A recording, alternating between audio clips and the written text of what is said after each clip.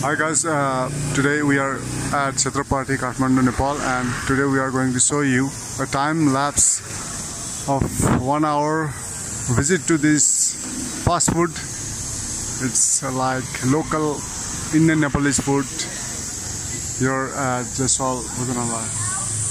So let's begin.